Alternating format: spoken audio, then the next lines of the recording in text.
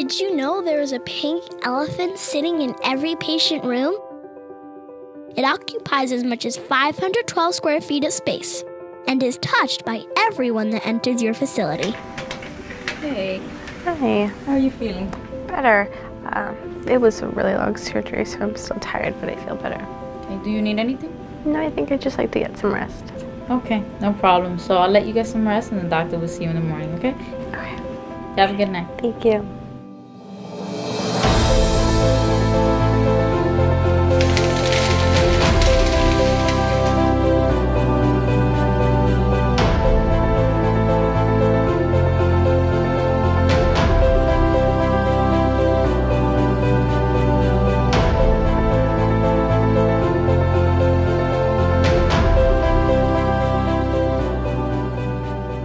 C. diff survives for nine months.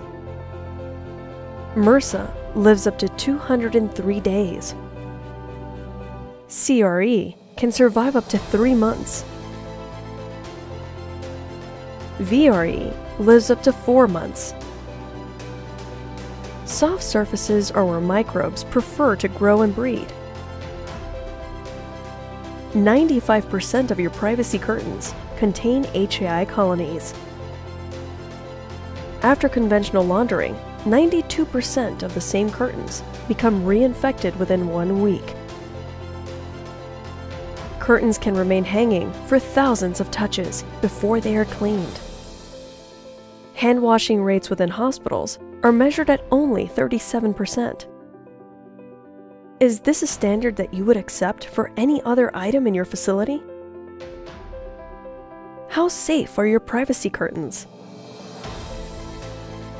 Preventable HAIs add $30 billion per year to healthcare costs.